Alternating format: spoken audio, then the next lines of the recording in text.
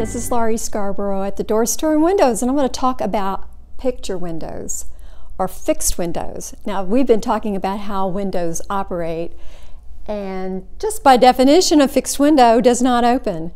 But we've got a fake fixed window. This is a picture window. First off, why are they called a picture window?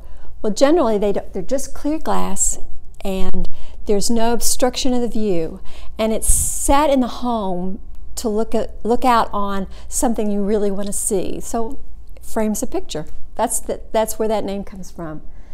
This particular picture window is not fixed, however. So walk with me. I'm going to show you how it operates.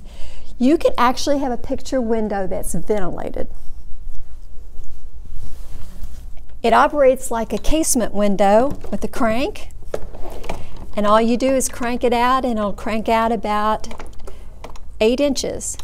And you've got ventilation. You can have, um, have it open and get the fresh air in this spring.